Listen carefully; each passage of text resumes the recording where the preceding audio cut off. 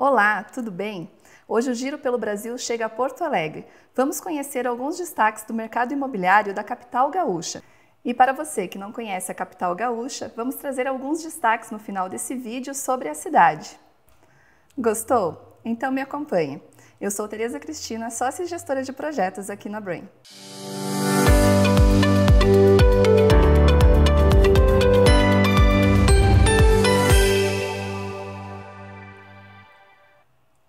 Mercado imobiliário em Porto Alegre? Vamos mostrar alguns destaques utilizando a plataforma do GeoBrain. E se você quiser conhecer um pouco mais do GeoBrain, entre em contato com o nosso comercial. Vamos deixar o link aqui nesse vídeo. Então essa é a plataforma do GeoBrain. O primeiro passo é digitar a cidade. Então nós vamos aqui para a cidade de Porto Alegre. Vamos conhecer aqui um pouco dos dados imobiliários de Porto Alegre.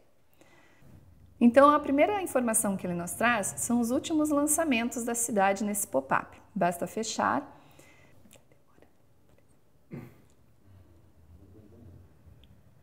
Então, ao digitar a cidade, o GeoBrain ele já traz para nós aqui os empreendimentos que estão em comercialização, que são aqueles empreendimentos que ainda possuem unidades em estoque.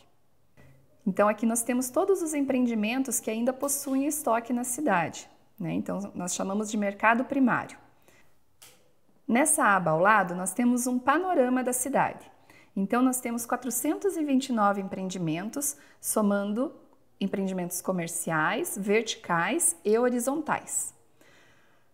Para isso, nós podemos também fazer alguns filtros aqui do nosso lado esquerdo para filtrar e entender um pouco o mercado mais específico. Então, vamos focar no mercado vertical e atualizar esse nosso filtro.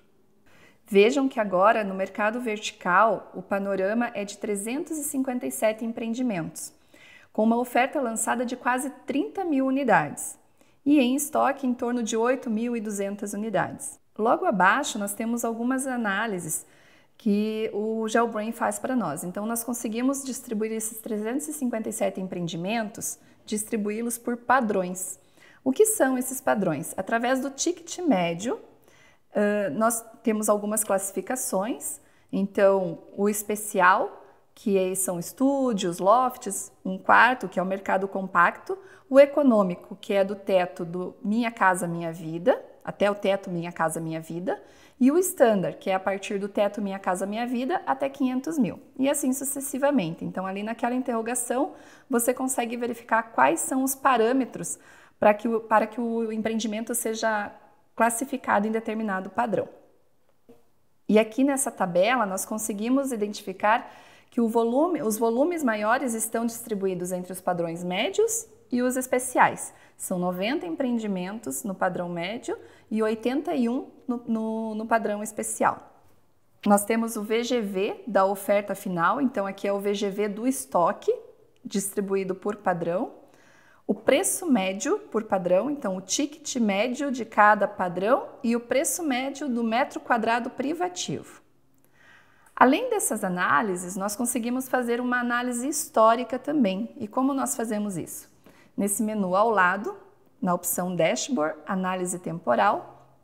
Então, nós vamos selecionar aqui o período de janeiro 2022 a janeiro 2023. Então, o GeoBrain ele está atualizado até janeiro de 2023 para fazermos essas análises. Vamos verificar o mercado vertical, selecionamos o estado, a cidade, temos outras possibilidades de filtro. Então vamos gerar a visualização. E aqui nós temos então as informações de lançamentos, vendas, oferta final, o índice de velocidade de vendas, o ticket médio e o ticket médio do, do metro quadrado. Então, vamos verificar aqui em gráfico, pode ser visualizado em tabela também, mas vamos verificar aqui algumas informações das unidades lançadas por tipologia em Porto Alegre.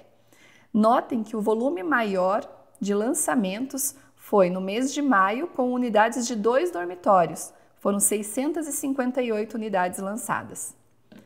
Além disso, nós conseguimos analisar as vendas. O volume maior de vendas também aparece nos dois dormitórios e agora, no mês de janeiro, com 597 vendidas de dois dormitórios. Então, é, vocês conseguem visualizar é, várias informações históricas, o último cenário da cidade, tudo isso através da plataforma GeoBrain. Estes são os destaques do mercado imobiliário da capital gaúcha. E você se lembra que lá no início deste vídeo eu falei que ia trazer algumas dicas sobre a cidade? Então vem comigo. A capital do Rio Grande do Sul foi fundada em 1772 e antes de ser batizada de Porto Alegre, teve outros nomes.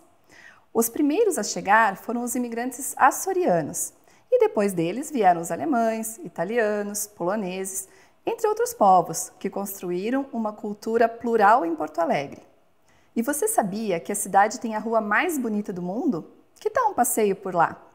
Este é o apelido da Rua Gonçalo de Carvalho ela é toda coberta por árvores, muito grandes, imensas. As árvores de lá foram plantadas há cerca de 70 anos.